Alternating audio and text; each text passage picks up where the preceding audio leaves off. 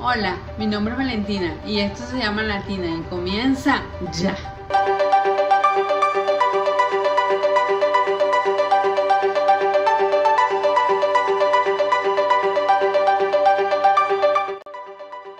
Comenzamos poniendo tostar la harina de almendra en un sartén. Hay que estar bastante atento porque se quema bien rápido, moviéndola constantemente. El proceso de tostar toda la harina de almendra me de 5 a 7 minutos y una vez toda tostada así luce. En un recipiente aparte mezclamos la harina de almendra que recién tostamos, endulzante y cacao en polvo e integramos todo muy bien. La receta va a estar listada en la cajita de descripción. Una vez todo integrado muy bien, le añadimos la mantequilla derretida. Y lo integramos todo muy bien y al final va a quedar una masa con una textura de bolonas. Para hacer este pastel no utilizaremos horno. Como les dije anteriormente, tiene que quedar con esta textura. Luego transferimos esta masa a un molde que previamente está preparado y está ligeramente engrasado. Este pastel de queso rinde 16 porciones. Luego con manos que previamente lavamos, presionamos la masa uniformemente contra el molde. Y al final, una vez que presionamos todo uniformemente, así tiene que quedar. Luego rebanamos con unas 5 o 6 fresas y las distribuimos en el borde del pastel para adornarlo. La preparación de este pastel toma 40 minutos. Luego cortamos en rebanadas las fresas que vamos a hacer puré. El principio de este puré es muy parecido a la que tu mermelada de fresa. Si te interesa, voy a dejar por aquí arriba un enlace a ese video.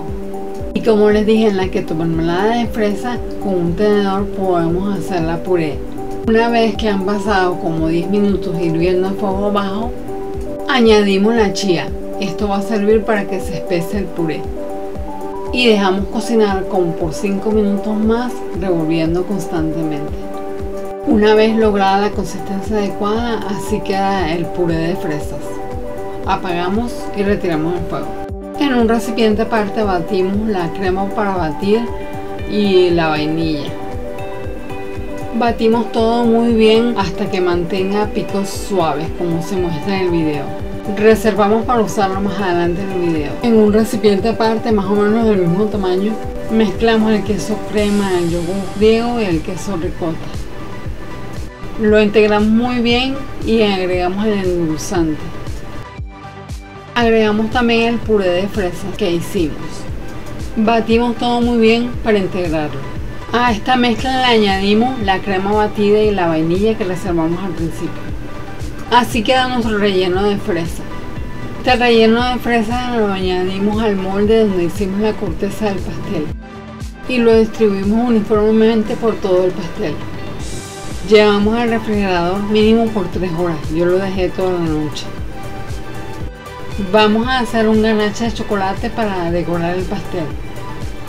Dejamos hervir a fuego bajo la crema para batir, a la cual le añadimos las chispas de chocolate. Apagamos y dejamos reposar por 5 minutos.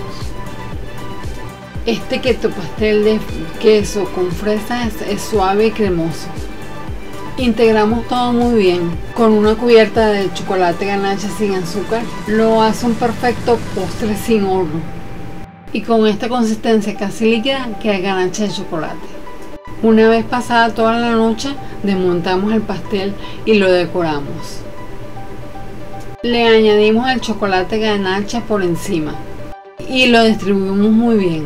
Una vez distribuido todo uniformemente, lo llevamos al refrigerador como por 15 minutos más para que el ganache de chocolate compacte.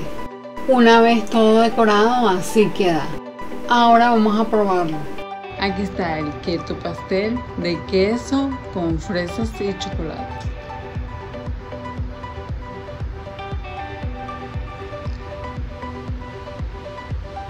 Está riquísimo, la textura divina, el sabor está estupendo, tienen que probar. Como siempre me dejan saber en los comentarios. Bueno amigos, hemos llegado al final de otro video. Muchas gracias por quedarse hasta el final. Sígueme por mis redes sociales, suscríbete y activa la campanita de notificaciones. Nos vemos en la próxima. Adiós.